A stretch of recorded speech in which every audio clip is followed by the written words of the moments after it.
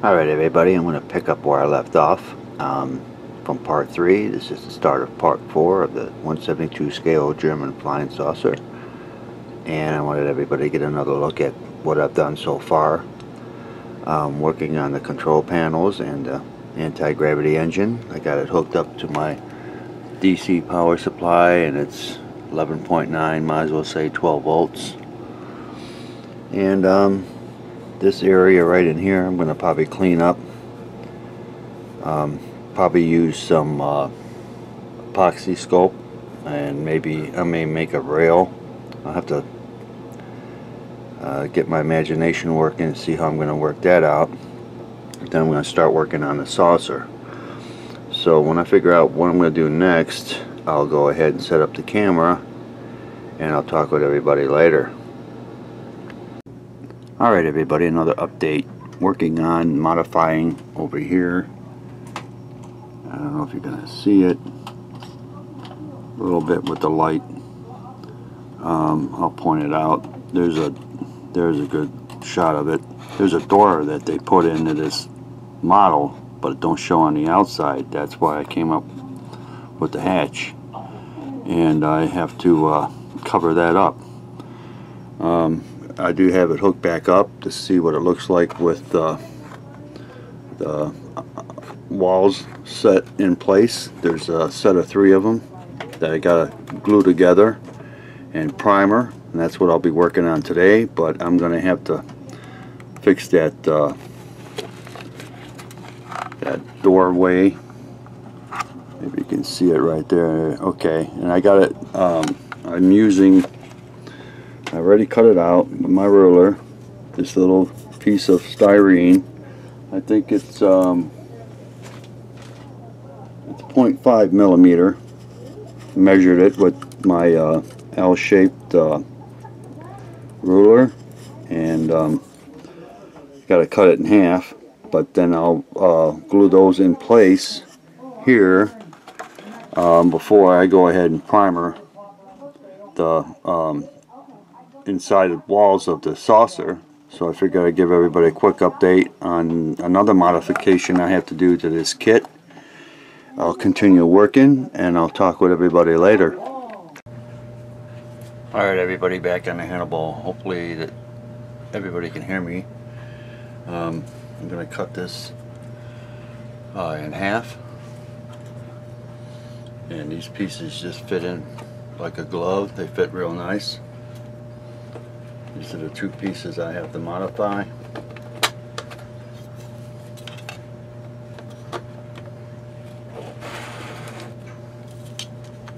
See here when it's together, you can see that little little doorway. Get it in frame here. right where my thumb is. So I'm going to cut this in half and then glue each piece separately to cover up that door.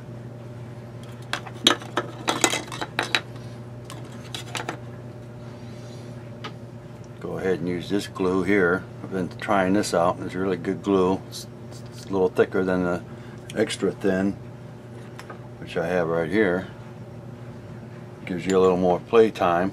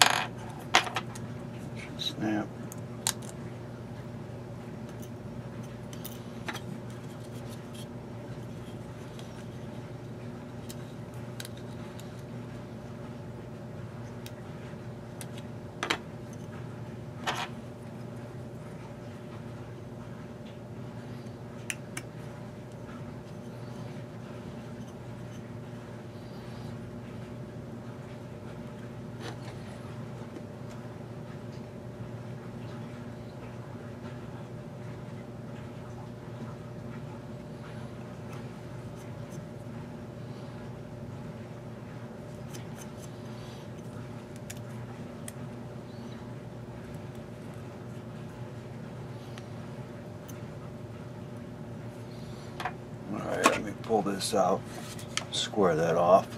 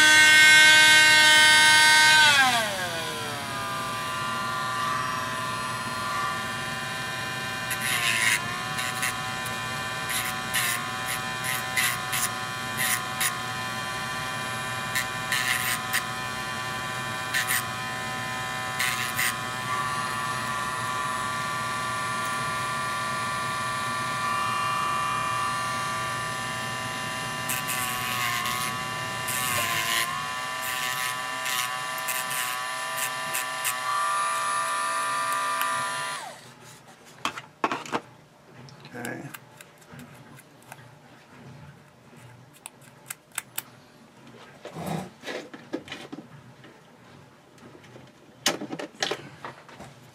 See how this fits.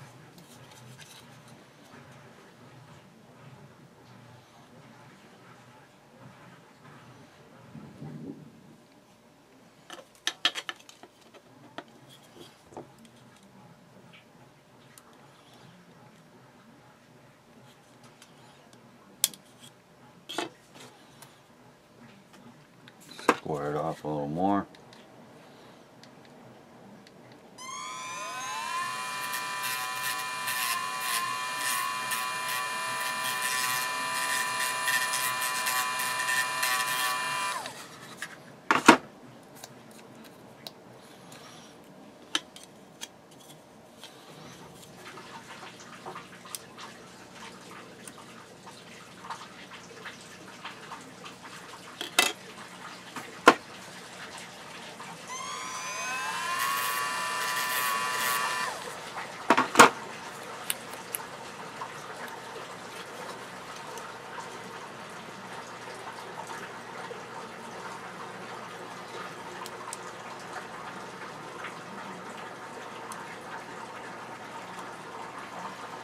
Uh, get the general idea.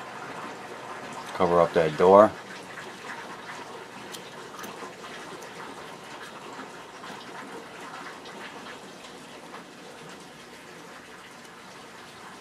So everything looks looks good.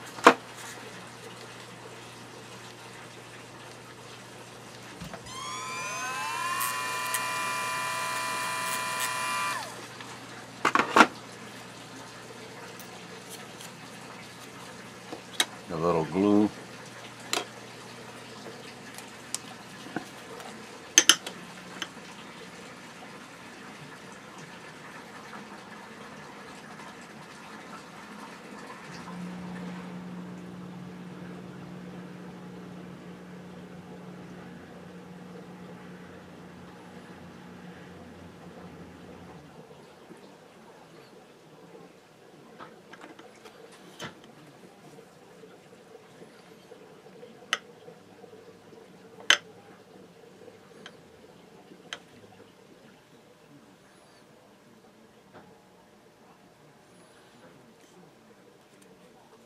A lot better.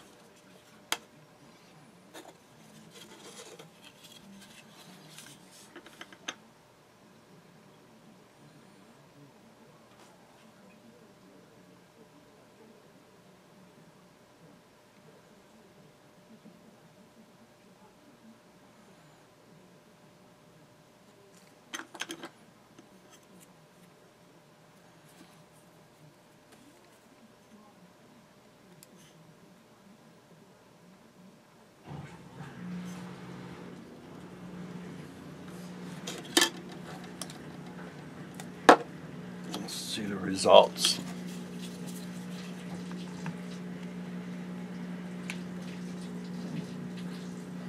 Not too bad.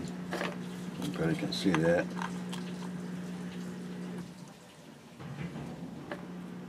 There we go. Not too bad. So I'm going to pause the camera, keep working on this, and I'll talk with everybody later. Alright everybody, another update. I got the bottom masked off here, so I won't have a problem gluing it in place when I'm done primering and painting it. So I'm going to set up the spray booth. I got a primer the inside here and the other two parts. There's the other one here. There's some piping and little detail. You can see some piping right here. And then I got a uh, primer up the ramp and probably a few more parts I'll have to pull out of the box. So let me pause the camera, set up the spray booth, and I'll be right back. Alright everybody, I got everything set up in the spray booth. Um, this stuff is awesome. It's a clear primer. It's an adhesion promoter. When I camouflage anything or mask stuff off on my builds, I always use this. Can't recommend it enough. Uh, on the can it says clear primer improves paint adhesion and thumbs up. This stuff is awesome. Um, you can pick this up at your parts store. I'm going to use it on the on the ramp and then the uh, gun turrets right here if you can see get it in frame there I've got four of them and then I'll let it set for about 15 minutes and then I'll hit it with some primer. So uh, I'm gonna go ahead and uh, get ready here hit those parts and um, let those set for 15 minutes so hang on I'll let everybody uh, take a look at this stuff here. It's clear but works for me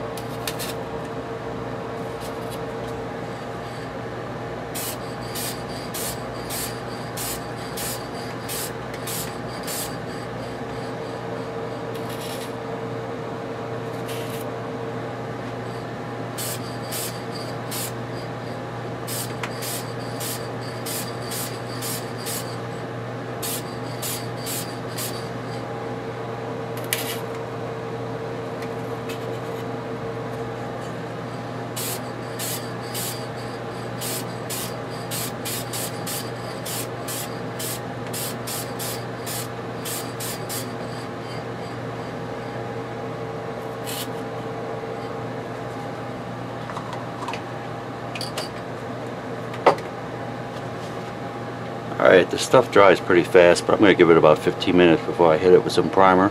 So I'm going to pause the camera, and I'll be right back. Alright everybody, back on the Haunebu, I'm getting ready to uh, hit it with some primer. Primer I use. And it has an adhesion too, so that's double the strength. It's good primer from Badger. Already have it in an airbrush ready to go.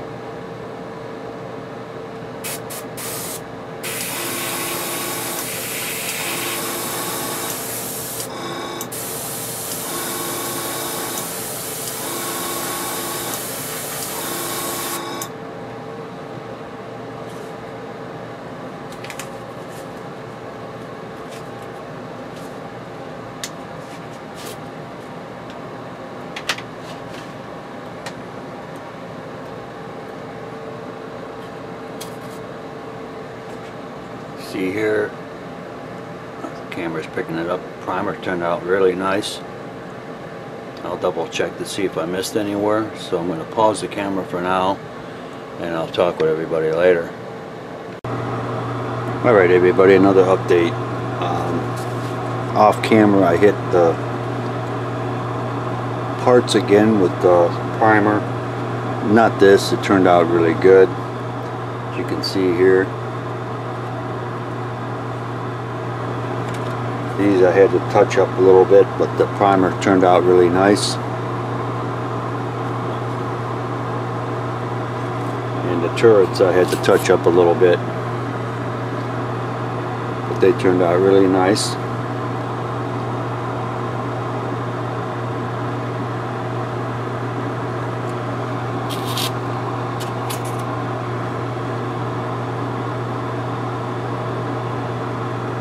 Hopefully you can got that in frame. So I'm going to let this sit overnight. I may do some more primer tomorrow um, and I'll talk with everybody later. Alright everybody, another update on the Haunebu. Um, yesterday I used the adhesion promoter and primer and um, everything turned out really good. I'm happy with the results. So I'm going to let this set for a while before I hit it with some paint. These uh, turrets turned out really nice. So I'm going to repeat the process today. I'm going to get the upper saucer, lower saucer.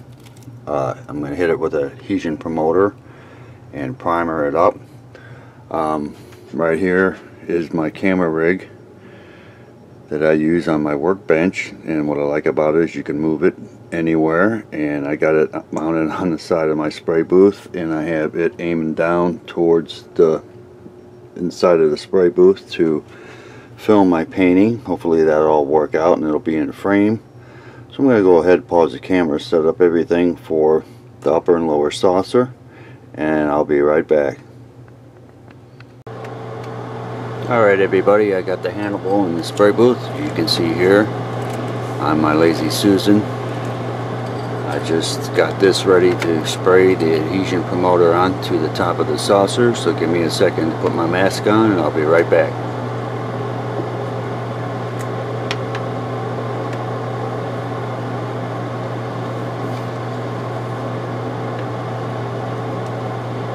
Alright, if you can hear me, I'm going to go ahead and hit, hit it with some adhesion promoter.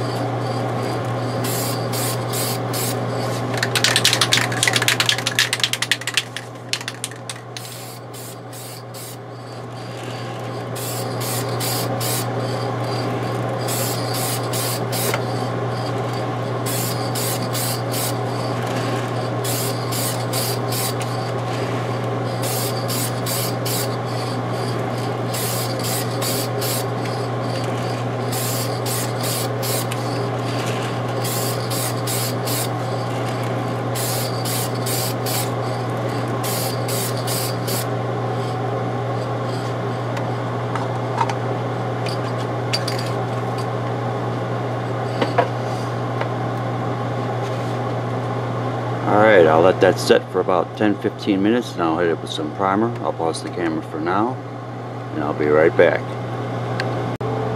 Alright everybody, back on the saucer. I got the primer ready, uh, the paint on the saucer, so let's get started.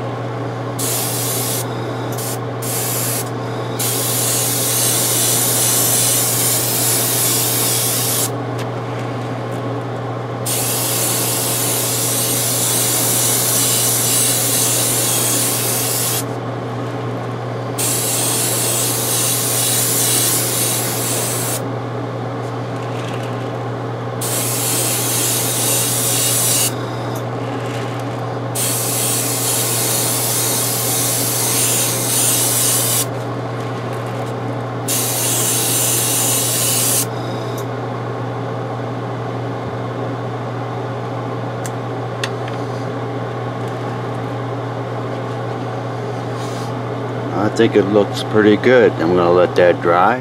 I'll double check it to make sure. Hopefully the, the camera picked that all up. So I'll pause the camera for now and I'll be right back. All right, everybody, another look at the primer. Closer look. Until your lighting pick it up. But um, I think it turned out really nice. That adhesion promoter first, and then the primer. I like how it brings out all the rivets and the panel lines and the detail. It's looking good.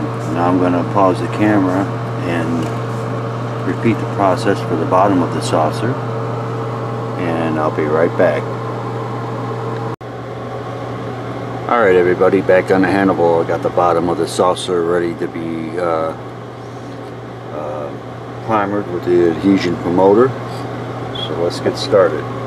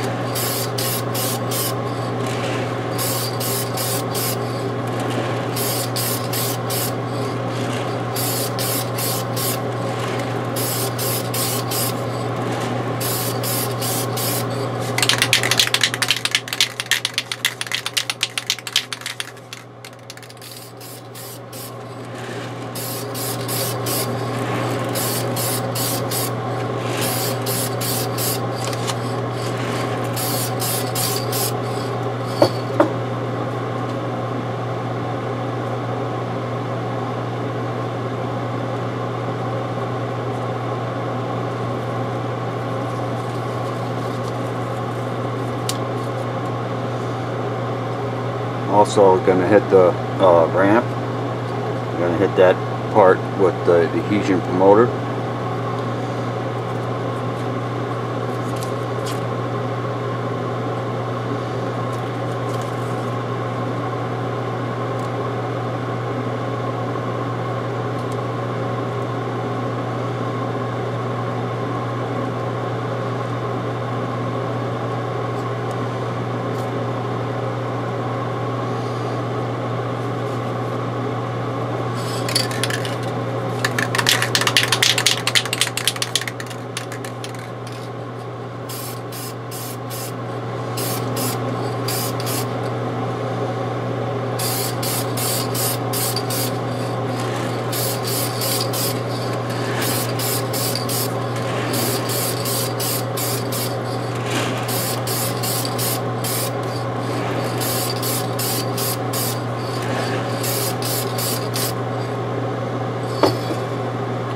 Alright, I'm going to let that sit for 10-15 minutes. I'll pause the camera and I'll be right back.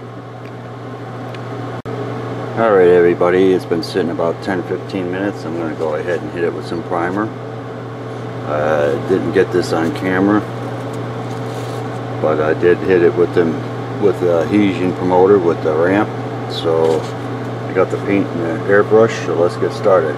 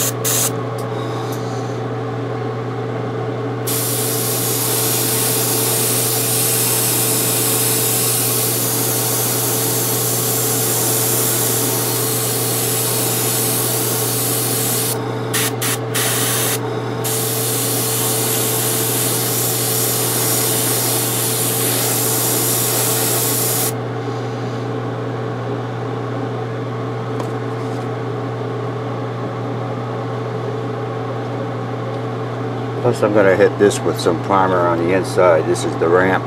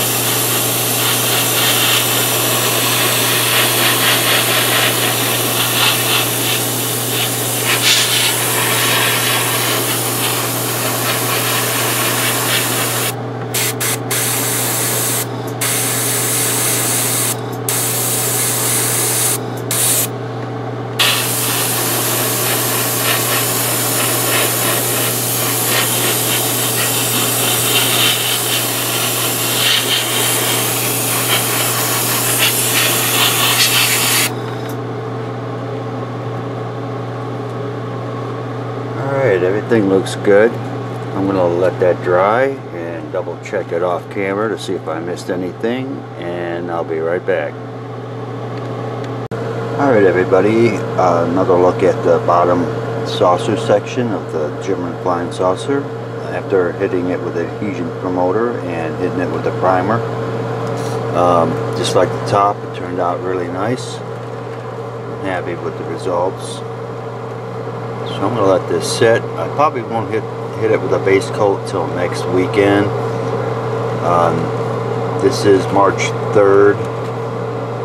Um, I'm gonna check and see if I got anything else I might want to primer up. Um, here's the ramp. I got that done. It turned out nice. Now it's all primered, ready to go. And then I did the inside of the ramp, and I also hit it on the outside because I'll probably hit the outside with black. I'm going to have to modify it again. I'm going to have to open it up here where my thumb is for lighting so the ramp will light up. I got some 805 small LED tape. I'll have to show that. Not too many people I've seen online use that.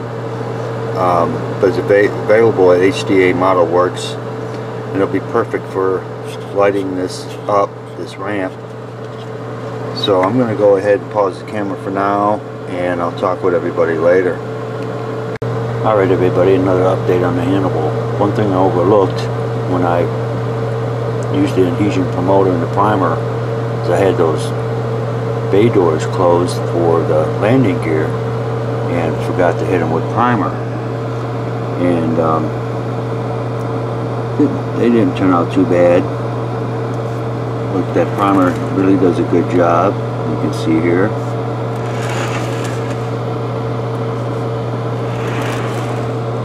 And in the instructions it says use flat aluminum. If I mask this area off and hit it with the airbrush it'll be much quicker or I might just do it by hand. I'm got Tamiya and Model Masters acrylic paints. I know they're better through the airbrush but this will be on the bottom of the ship several coats and I paint it in one direction. It should look pretty good. Um, so I'm going to pause the camera, put the saucer together for what I've done so far and um, see how, what it all looks like and I'll be right back. Alright everybody, another update on the Haunebu. Got it all together temporarily on my workbench. Um, main saucer, upper and lower, primered this, these three parts right here, as you can see, I got to primer them up yet, but I'm working on the inner walls. I got those primered. I got it all hooked up temporarily to some power too to turn that on here in a minute. But um, everything's taking shape. She's looking good. Let me go ahead and turn some power on. Kill some lights. Got it at 9 volts. And uh, it looks pretty cool. It's taking shape.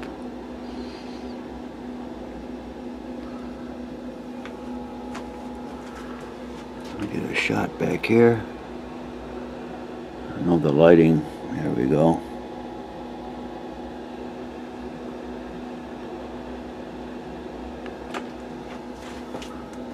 Front control panel. Closed in, it looks really cool. The uh, engine. It's a good shot. Well, I'm going to call this a wrap for part four. I'd like to thank my YouTube subscribers. I'd like to thank everybody for watching. It's up to my channel. More to come. I'll talk with everybody later.